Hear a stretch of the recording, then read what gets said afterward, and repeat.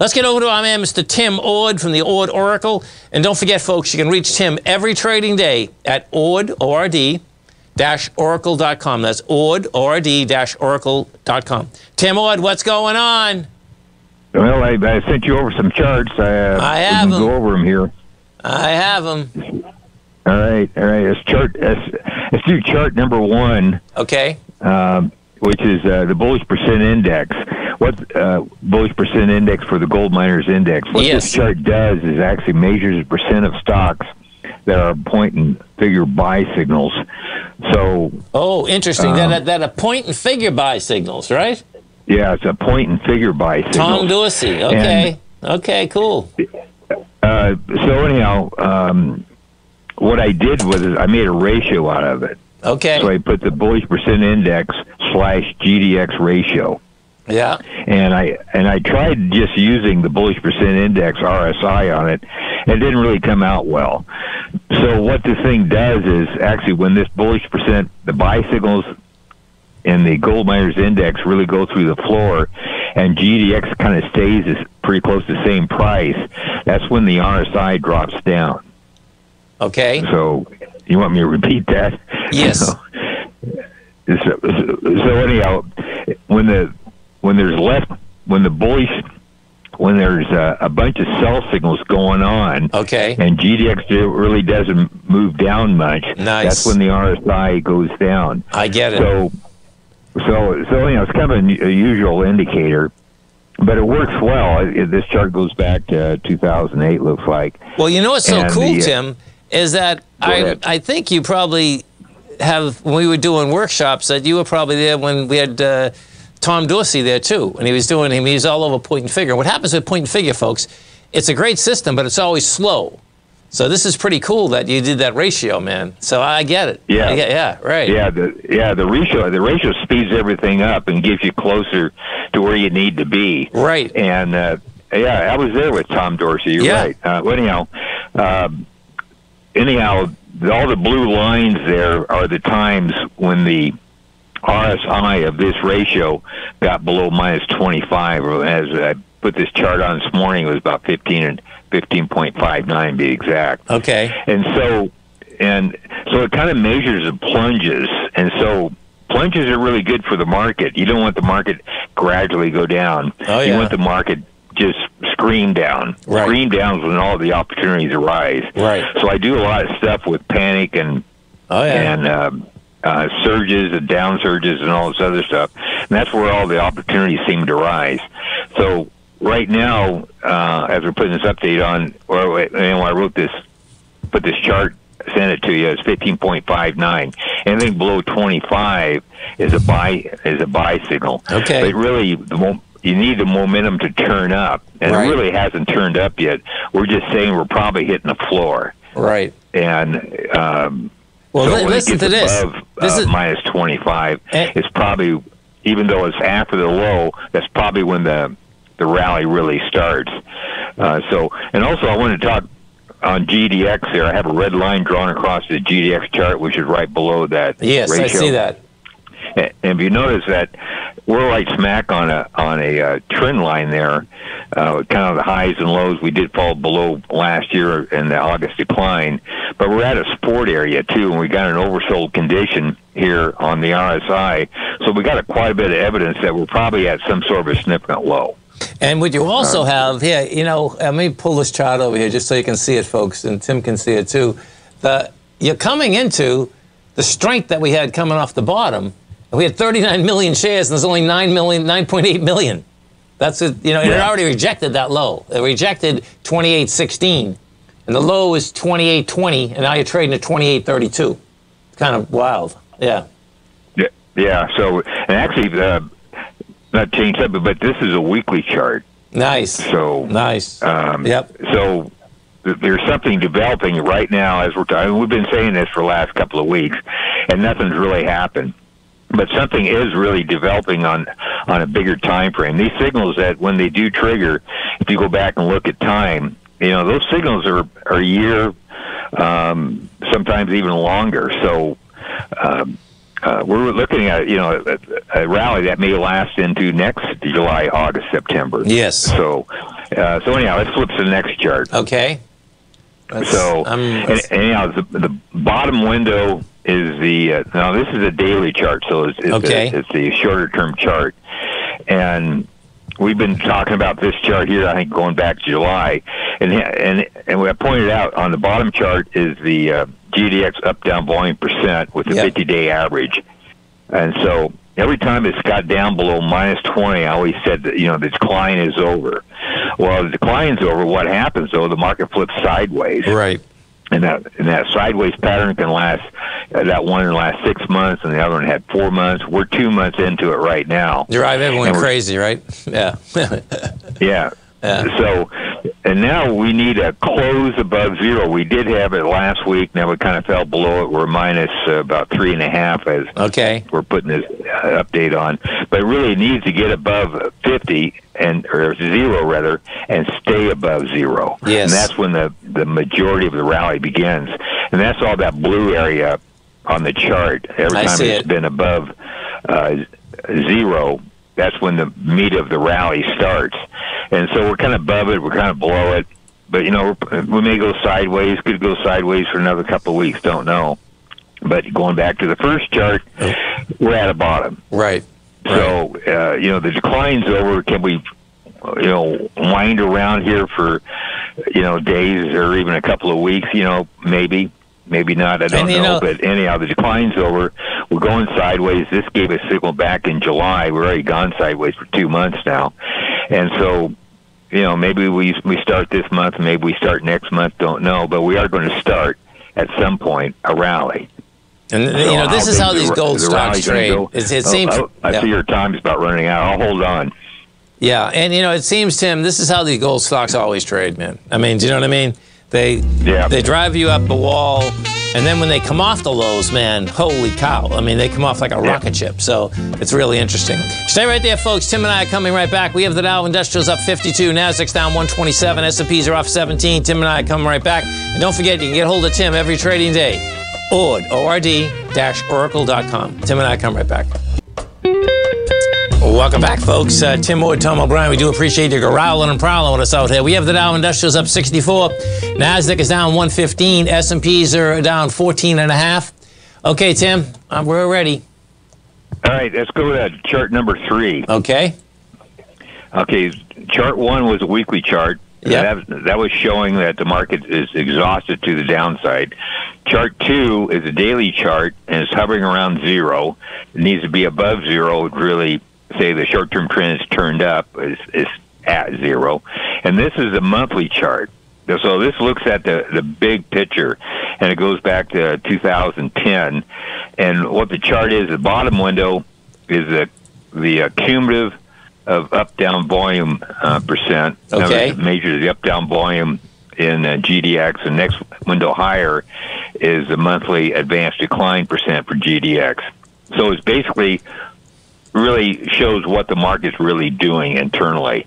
Yes. And what I, what I found out that the bottom window, which is the up down volume, actually has more of a meaning to what GDX does than actually the advanced decline. And I don't know why that is, but all the signals are more reliable off the up down volume percent. Okay. And I I I, uh, I had another chart, but it got late in the day. I didn't email it over to you, but I put a, a Bollinger or a percent Bollinger Band on that bottom chart, Yes. and what that tells you, the percent Bollinger Band tells you when you're hitting the upper Bollinger Band or the lower Bollinger Band. Right. And went back, went back in time, and we're actually hitting the lower Bollinger Band. We did that back in 2019 and also 2016. So it's kind of a rare event.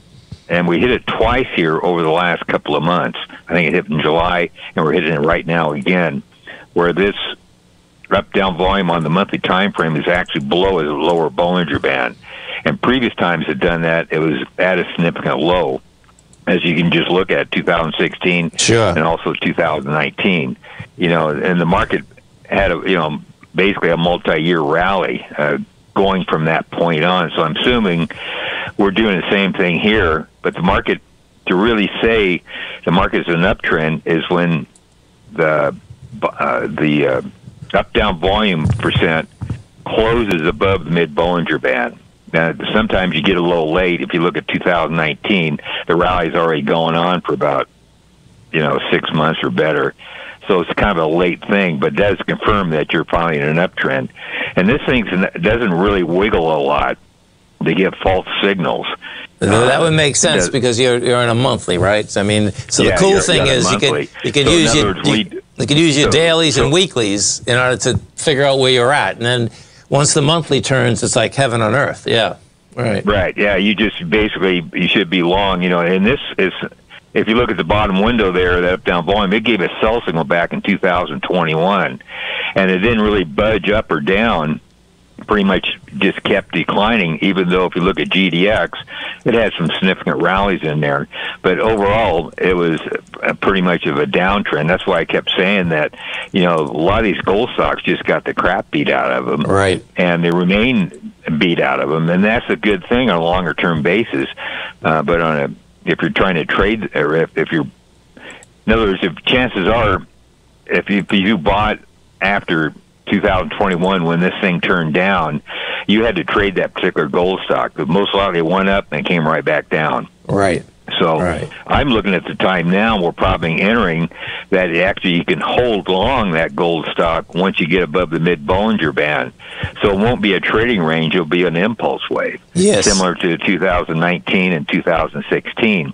You hold on, and most and the stock most likely over you know this once these signals are generated. If you look at the signals there, they're they're two three years you know long. You know, last sell signal was 2021 in general, that's still on its sell signal. But I got some other, you know, like I showed you, some other indicators that well, the decline's done and we should be turning up. So once this thing turns up, it becomes a, a trending market. So right. you, we don't have BGO anymore like AEM. you know, it's been a garbage up and down market over the years. Yes. You know, since 2021. Well, chances are this thing turns up we're going to start making higher highs, higher lows, and won't be a trading market anymore. And that's my whole point of this chart. Right. So, uh, this uh, I'm saying this is um, next time we do next Tuesday, I'll show that Bollinger Band on this chart and show you where it is. Nice. But we're probably setting at, at a significant low here on that. Uh, yep, I know. I can uh, see that. I mean, I love how they're coming in, testing those strengths with dramatically lighter volume. We know how. I mean, it, you know it drives everyone up a wall. I know how that works too, but you know the bottom line is that you're coming into strength. Even when I was just looking at AEM, you know that's it's today. You know it rejected forty six dollars seventy nine cents, and the volume is one point five million, and it's coming into seventy five million. it's like really. yeah. I mean that's yeah, about as intense as you can get. You know what I mean? It's like okay. Yeah. Right. Well, what I'm thinking, you know, you know, we we were at, you know back in the 2000. Remember that turn up back then? Oh yeah. I'm I'm I'm thinking something similar is happening here because this market really hadn't done anything. Right. I mean, it went down from 2012 2016. Well, 2016 the market was basically a trading market, and we're still in a trading market because this these these two indicators pretty much went you know they went up and down, but they pretty much went sideways. So I'm thinking we're building a huge base, and I think you know, time will tell. But I think this is similar to 2000. Yeah. where nobody kind of believed the gold market because everything's kind of set up for it. But at least we're going to get at least a year or two or longer, probably this a two-year rally. If this thing gets above the mid Bollinger Band, you know we can count on at least a two-year rally. Uh, and the so thing that's amazing, every- folks, is that when Tim says no one believed on it, including all the gold CEOs because I was doing all those gold shows, and these gold CEOs yeah. were looking like me. I had five heads, man. I'm telling them, no, no, no, no, everything's going to go up, and they're looking at me, hey, man, Tom, I hope you're right, but I think you're out of your freaking mind. That's exactly what they're saying to me. Seriously. yeah. yeah. So, but the time of sale was kind of a unique time in you know period, but you know it it all it's all numbers. If uh, you know yeah. things do go up and and they peak out, we'll point that out. Right. And we'll have indicators that say, you know, we're we're pretty extended here. So, uh, which will time, happen because that time is not now. I'll no, no, but that you know, we know that the gold market loves to extend itself. There's no doubt. Yeah. Yeah. So we, we can. Uh, we got. I got two more charts. We got. You got time? Oh yeah, yeah. I'm going to bring you on the next section too. We can do. I'll, I'll go to the next one, then we'll take a break and we'll do the next one. All right. There we go. All right. Okay. Okay. This this is uh, point out this chart. here. I'm doing a lot of stuff with the VIX because VIX shows fear. Yes. And and it, fear is it doesn't work. You know, optimism it kind of works on tops, but momentum works a lot better on tops when things get out of hand. They they call it. Um, oh, parabolic. Yes. You know, you see a parabolic move, you you, you got to get out. But anyhow, bottoms are a little easier to pick out because everybody is, is kind of like a atom bomb going off. Everything right. explodes up. Right. So I do a lot of stuff with the VIX, and uh, uh, yeah, I think we're going to hit. Yep. Hey, wait right there, folks. There Tim and I are going to be coming right back. We have the Dow Industrials right now trading up 67. Nasdaq's down 123. S&Ps are off 16. Don't forget, folks, you can reach Tim every trading day. He has a great newsletter at ord, O-R-D, oracle.com. That's ord-oracle.com. Tim and I come right back, folks. Welcome back, folks. Dow. Dow's up 70, Nasdaq's down 121. S&Ps are off 15 and a half. We're talking about when I'm in, Mr. Tim Ord, and right now we're talking about the S&P. Okay, Tim. All right. Um, the, the bottom window is the VIX, which when I send it over to is uh, 1509. Anything below 17, a lot of times you got a trending market. Yeah, you can have pullbacks, but usually not big ones. Not not. Otherwise, this thing would be going through the ceiling. So whatever's going on right now is probably not uh, a big decline, at least not yet. That may change. But if you look at the next window up, is yes. the SPX VIX ratio. And I've done this on a weekly time frame and a daily time frame. Daily time frame, which is what this one is here, is a little bit more messier, but it, it if you know how to read it, you can still see the signals. And basically, how to get a signal when the S&P is making higher highs, if this ratio is making lower highs, it's usually going into a top. Okay. And all those, the pink area or the with the red lines pointing out where the SPs made higher highs and the uh, SPX VIX ratio made lower highs, those are all worthwhile highs going back. Well, here, if you notice on the right window there, uh, yeah, obviously the S&P has not made a new high here. We're still quite a ways below the previous highs of uh, what July. But if you look at the ratio, we made a higher high, barely, but we still made a higher high. Yes. To me, that's a bullish divergence. No, I can see that. That's that's the, that's the second one down, right? Yeah, second, yeah, yeah, right. No, I can see it. Okay, cool. Bottom. Right, right. Yeah, well, yeah. yeah, second one up from the bottom. The bottom one right. is the VIX. Second, yeah, I have it. Okay, cool. Right. So, okay, that ain't supposed to happen. Right. So, if it does happen, something uh, weird's going on, and the VIX is kind of confirming it. So, I don't think any worthwhile top is forming here. I had a projected a pullback around a 444 on the SPYs, and we hit it yesterday, and we're kind of into it today a little bit. You know, we we made a lower low. I'll got to see what volume's going to come in, but. Um, anyhow, this is a bullish divergence, so I'm not bearish here at all. I'm thinking we're going to go back up and actually break the previous high of July.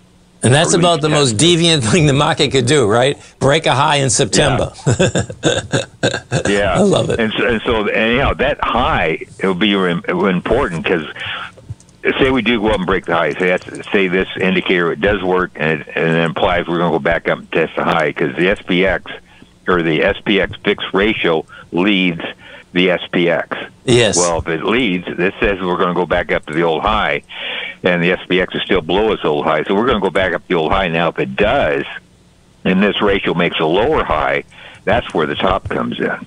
Yeah. You get what I'm saying? I'm with you. Well, you know, it's so intriguing. Like when you look at this, folks, okay, so, you know, the, the trend that we had coming up, you know, this is the SPY I'm looking at now, right?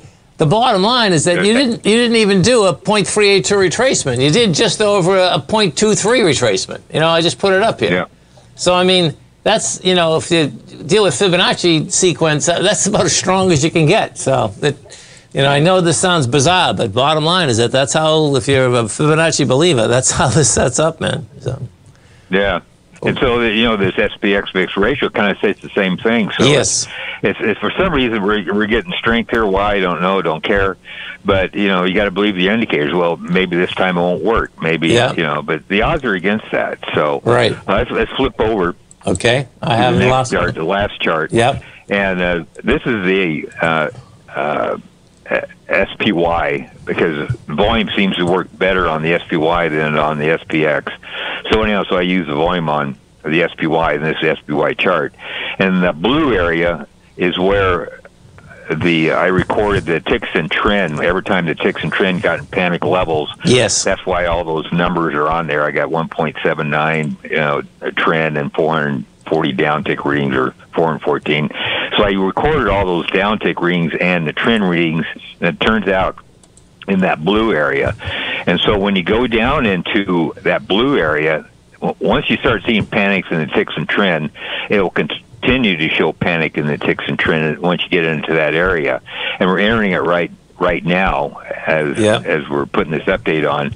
And the TRIN it needs to be, what I learned over the years, the TRIN read needs to be at least 1.2. Okay. To show panic, and we got as we're doing this, like we got a TRIN of 1.2.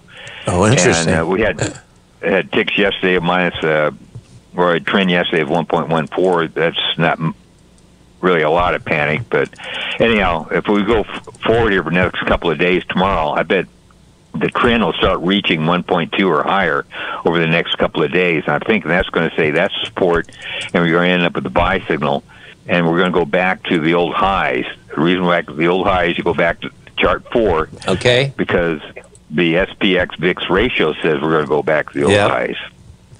Wow, what a great breakdown, man! Unreal. Yeah. So now you know, it'll be you know the market can prove me wrong, but that's how I'm coming up with the theory that we may go back to 460, which is basically the July highs. And what happens there, I don't know. Right. Um, you know, to me, I think it's probably could be a, some sort of a high, and it could be a worthwhile high. I'll have to wait and see. Don't know. Yeah. Well, you know what's But, so interesting uh, too, Tim. I, I watch the dollar a lot. Okay, and if we put the dollar up here, watch this. You know, the the S and P and the dollar go like tick for tick. If, that's, if the dollar goes higher, you know, bottom line, S and P goes lower. And when you take a look at this, um, the S the the dollar. So where we're at is that this number here, the, the number, it, it took out a swing, and it's having a hard time staying over, which is 104,699. We're at 105,009.